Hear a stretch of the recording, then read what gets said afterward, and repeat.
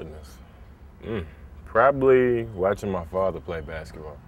You know, he always played basketball uh, here, um, at other recreation centers, you know, open gym and things like that. And, you know, we were too small to play, so, you know, we'd be just be dribbling. Me and my brother dribble on the side of the court and watch them play. Any good? Was he any good? I mean, you know, it was my dad, so he was great.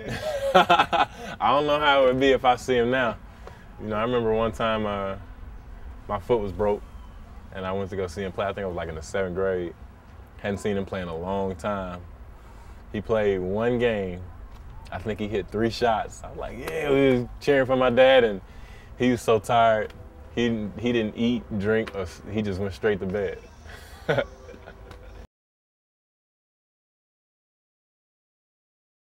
Probably my family, everybody in my family, because you know, no matter what, they're they're always honest with me.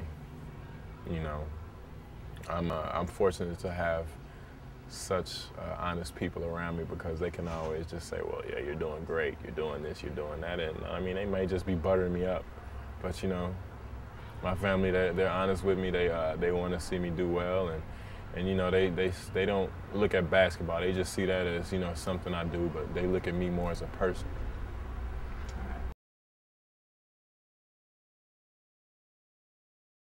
Kevin Garnett was my favorite player because, you know, when I first started watching basketball,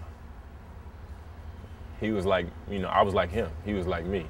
You know, a tall, slim guy, but he was doing everything. He could handle the ball. That was the first guy that was that tall that I watched that could handle the ball and shoot and, you know, just pretty much do everything. And, and you know, that's when I became a real fan of basketball. You know, people even start calling me KG as a nickname because I wanted to be so much like him.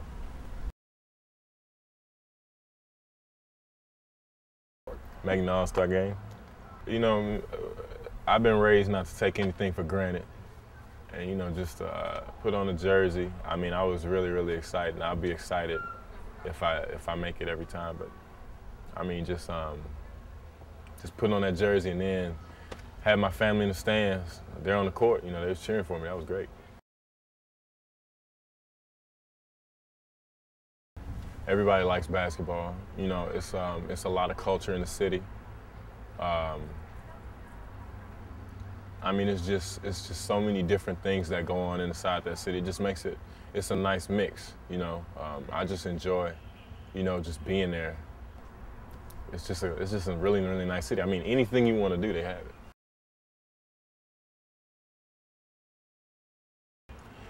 Um, just success, you know, uh, the fact that it's hard to attain. You know, I'm all about challenges. I love challenges and things like that. And, you know, it's easy to give up. You know, I don't like doing easy stuff. I like doing hard stuff, you know, because just for the simple fact that it's hard. And then when you accomplish something, you look back and you feel good about yourself.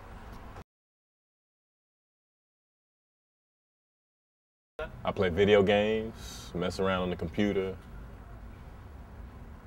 watch. I don't watch much TV. Watch sports. You know, pretty simple. I'm not. I read a lot.